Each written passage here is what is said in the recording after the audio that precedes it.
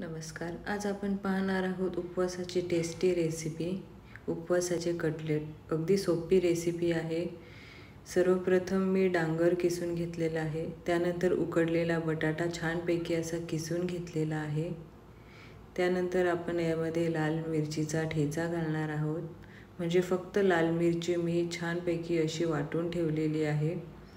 त्यानंतर यामध्ये टाकलेलं आहे भगरीचं पीठ.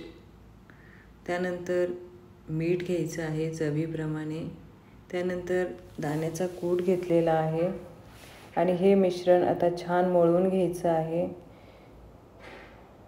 याप्रमाणे थोडंही पाणी न टाकता कारण आपण बटाटे आणि डांगर घेतलेला आहे किसून त्या बटाट्यामध्येच आपलं हे पीठ मळल्या जाणार आहे. हे बघा. त्यानंतर असे छोटे छोटे कटलेट बनवून घ्यायचे आहे. आणि छान तेलामध्ये डीप फ्राय करून घ्यायचे आहे. हे बघा. मस्तपैकी एकदम कुरकुरीत कटलेट तयार आहे. उपवासाची ही झटपट होणारी रेसिपी आहे. अगदी खूप भूक लागलेली आहे आणि आणि पटकन बनवायचं आहे अशी रेसिपी आहे. तुम्ही नक्की ट्राय करून बघा. अगदी टेस्टी कुरकुरीत असे आपले उपवासाचे कटलेट तयार आहेत. नक्की ट्राय करून बघा.